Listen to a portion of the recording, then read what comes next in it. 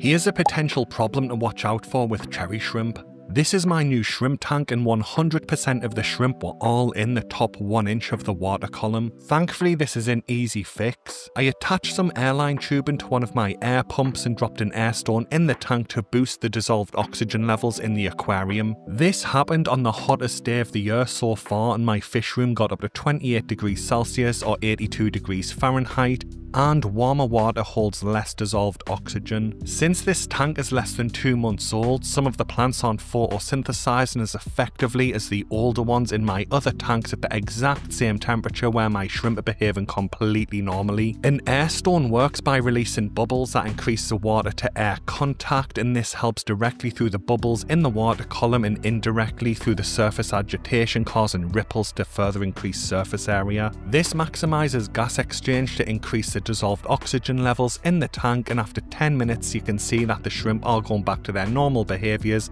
as they can breathe in the low levels of the water column. I also placed a tower fan in front of the rack to help keep it as cool as possible because it really was a hot day by British standards and since then I haven't had any more issues but it is something to watch out for this time of year in your shrimp tanks.